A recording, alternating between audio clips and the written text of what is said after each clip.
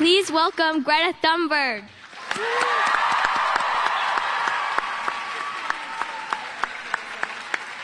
It may seem impossible to pull the emergency brake, and yet that is what we have to do.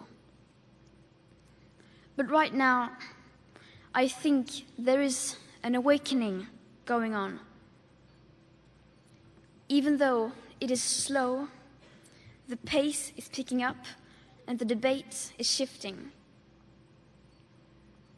This is thanks to a lot of different reasons, but it is a lot because, because of countless of activists, and especially young activists.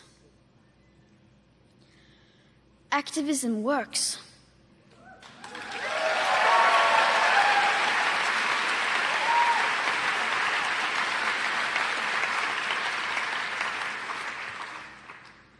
So, what I'm telling you to do now is to act. Because no one is too small to make a difference. I'm urging all of you to take part in the global climate strikes on September 20th and 27th.